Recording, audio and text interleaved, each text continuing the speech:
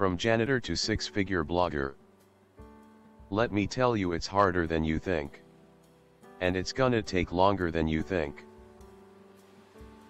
I started learning digital marketing in 1998. While I was a janitor. Scrubbing school toilets for a living wasn't exactly my idea of success. Anyway. After a lot of beep ups I went full time with a hobby site in 2004. But even then it took another 10 years before I really started to get things figured out. And when I look back, there are three things I've learned. Focus on value instead of money. Ask people to take mutually beneficial action. Be consistent every day. I'll go into more detail. Focus on value instead of money. Why do people use the internet? Why do you use the internet? Think about it. It's for content. Right? Content is king. You've heard that a million times before. It's true. But it's only part of the solution. Now. If you just want a blog and don't care about making money. Then cool beans just churn out post after post. But if you want a business then you need to. Ask people to take mutually beneficial action. In every piece of content you make you must ask the reader to do something that benefits both of you. It could be to share your article. Subscribe to your email list. Or buy a product and if you've delivered enough value then you bet they'll want to a give something back and b get more content from you. Then, you need to repeat it over and over. Be consistent every day. It doesn't matter if you can only spend 20 minutes working on your business. But it has to be consistent and it has to be every day. Do something that benefits your business. Every single day. You don't have to sacrifice your friends or family. Work every waking hour. Or any of that other Grant Cardone speak. You just have to be consistent. If you do it enough. After around a month it becomes part of your routine. And that's when you'll experience growth. It won't be overnight. It won't happen suddenly. But things will slowly begin to change you'll slowly begin to see greater and greater results. More traffic. More money. And more freedom. You can do it. But only if you're prepared to work for it. Every day. For years. Happy to answer any questions. This is great. I have lots of content I want to start monetizing and I'm in overwhelm with getting started learning the ropes. I know everything can be learned for free but I'm willing to pay a modest amount to accelerate my learning. Do you think SEMrush is a good investment? I'd also like to bring my main client up to speed. They have killer content and decent income but zero optimization slash analytics. I fee if I can scale them up that would teach me a lot. I do think SEMrush is very good. If you use it properly. I think its biggest strength is competitor research, if they haven't blocked the SEMrush bot. Do you know how it compares to Ubersuggest or is it a different tool altogether? Super awesome story. Thanks for sharing. Very inspiring to someone who is just getting started with blogging. Can my website outrank an 11 year old website with DA over 70 in most keyword search tools without backlinks? I currently get 2. 5 to 3. 5k traffic per month. This is my first blog. The competitor website is of low quality but very well established. Kinda like Medium. But on a lesser scale. The competitor gets like 100 m clicks per month. Domain authority is king.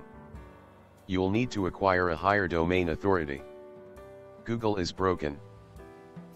Does working on low competitive keywords help to build authority or I need backlinks? The thing is it's not really a type of niche where I can find backlinks easily. Most of the articles are small. Backlinks are always better. But they are what high authority domains typically can acquire in short order because high authority domains tend to be deep pocket traditional companies. If the 11 year old website you are competing against is not a large company, then you just need newer and more numerous backlinks.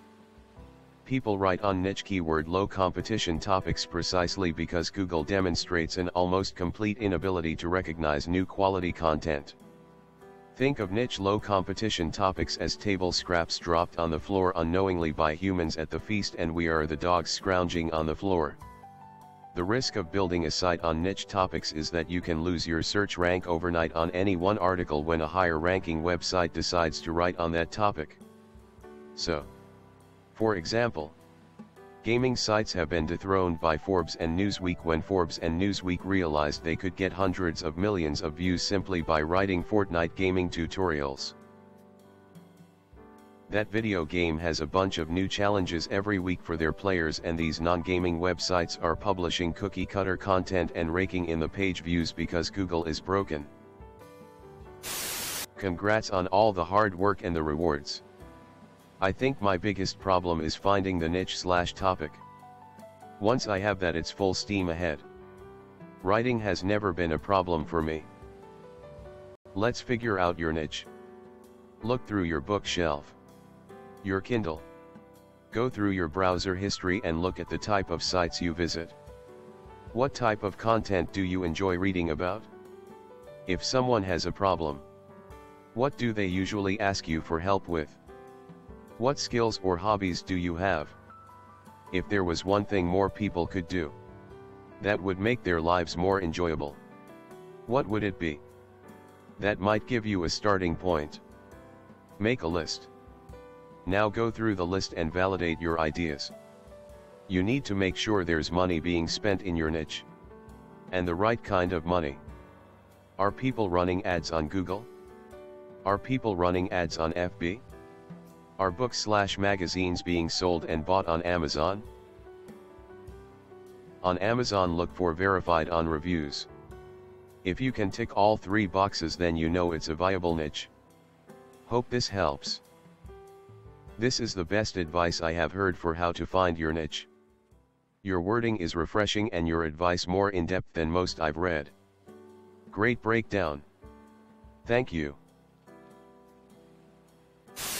Awesome post love it. Congrats on making it and for giving back by sharing. Thank you for the inspiration and sharing your experience. It's always so helpful to hear from those that persist and stick with it and find success. Thank you for this. This is great advice. Thank you. I have a Patreon blog and I have had so much fun working on it. I have 5 patrons and I have found that the paywall makes me more comfortable sharing about my life while motivating me to me worthwhile content each time. To promote my blog, I use Instagram to share free and shareable content. It's only been a few months but I think having 5 patrons, with none leaving, is really great progress since launching in July. It's not standard to start a blog with charging money but it works best for me. Also, I think it's important to normalize paying artists for the work they create. Thank you for sharing your inspiring story. Post saved and more success to you. This is gold. That is what everyone says but I've literally done that and I get crickets. Well let's figure out what the problem is so we can fix it. Let's go back to basics for a second. Does your blog publish educational content? I blog about minor league baseball and IMO the content is just as good as most other sites. Great. What's your sales process or monetization method? I don't really have enough traffic to get any sort of monetization so I don't have any method or sales process. I think we all know the answer but we all sorta want some kinda secret formula that can magically turn a blog into a success. I run a blog with 2. 3k uniques a month and I know the formula to hit success that's being the leader in my niche. Is like you said. Keep working at it. Learn from failures. Keep improving. My question though. How do you set realistic goals in the early days? Value offer conversion. That's the formula. Setting realistic goals. With my first blog I didn't set any. Just wandered aimlessly trying different things without any direction. But with my most recent project, I've got it down. I started with a small target. Each time I posted a new video I'd work my arse off until it got 100 views. I'd give myself a week to achieve it. Then slowly. As I'd reach the target I'd reduce the amount of time I'd give myself. And increase the number of views I wanted to reach. I use the same strategy for all my KPIs. So start with small, easily achievable targets. And slowly increase them.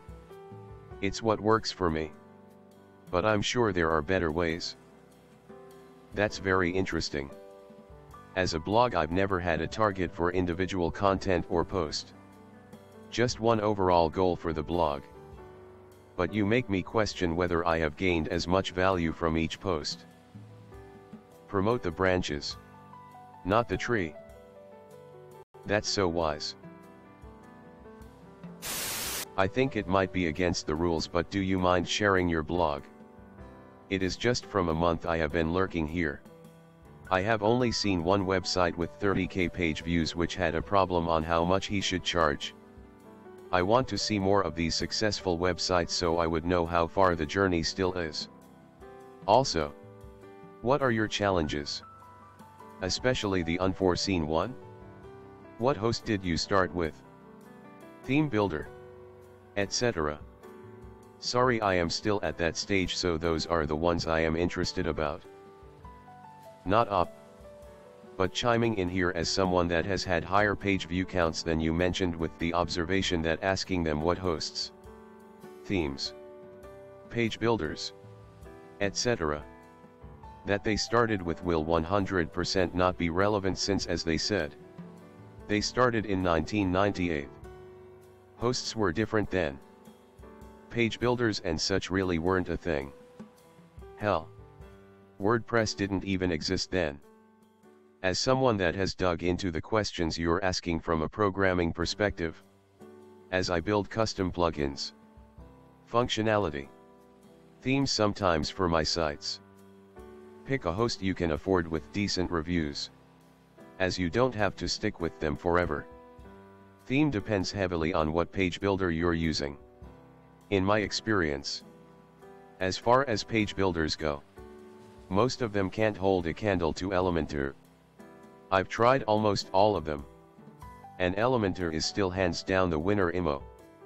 The most important thing honestly is to just start. You're wasting time not putting out content drilling down into the details when you have months after you write your first articles before anyone will even start finding your site to iron out things like page builders and such. Right? I manually updated my site with Macromedia Dreamweaver.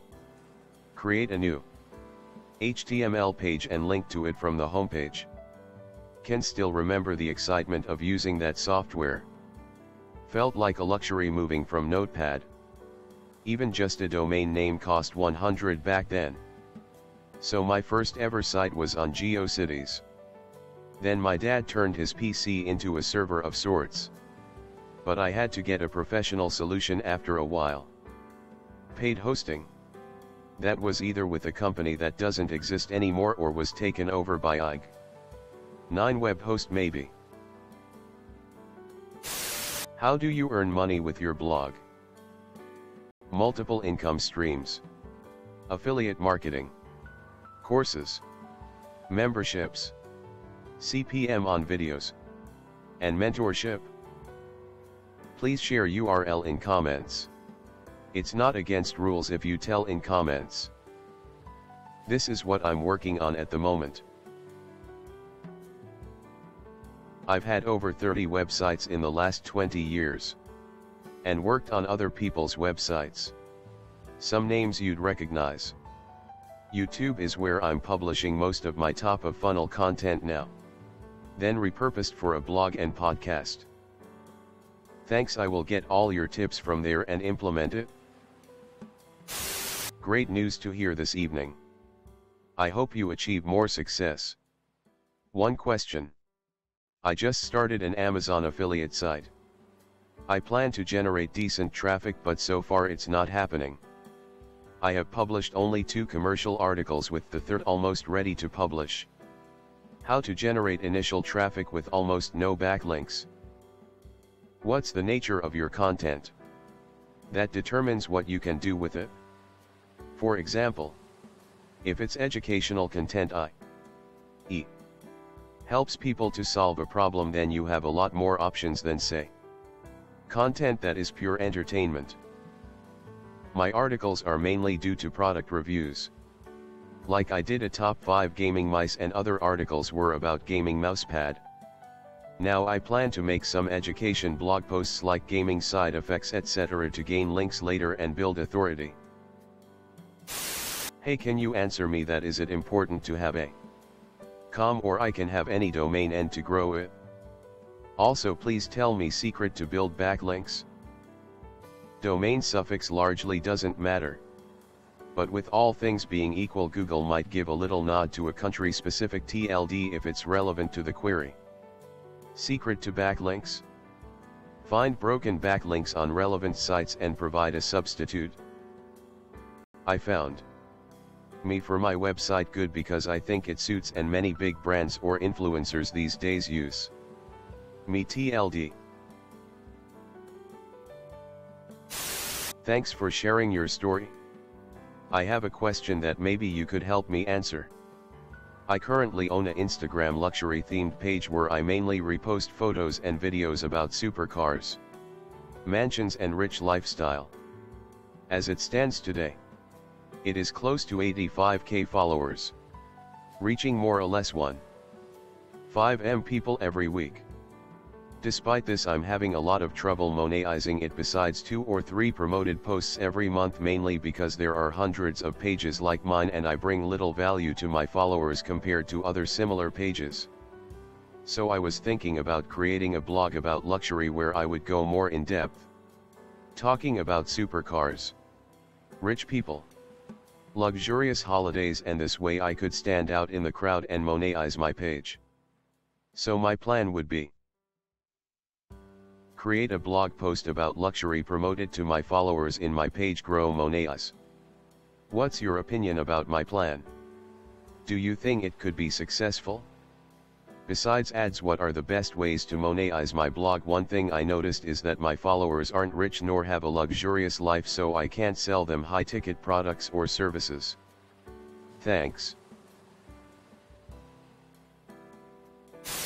And here I thought it was Dax came all the way from YouTube to here. Thank you for this post. You can actually make 80. 000 in 90 days like I did instead of years. This made me go back and rethink my blogging niche. Is it okay to have a general item niche or a very specific one? For instance geeky slash nerdy things cosplay. Video games. Anime etc. or video game development specific. Please repost this on r slash passive underscore income. That's a great suggestion. Done. Thank you. Can you share your blog link? Like someone else mentioned I do not have an area I fit into great story and it does show it can be done.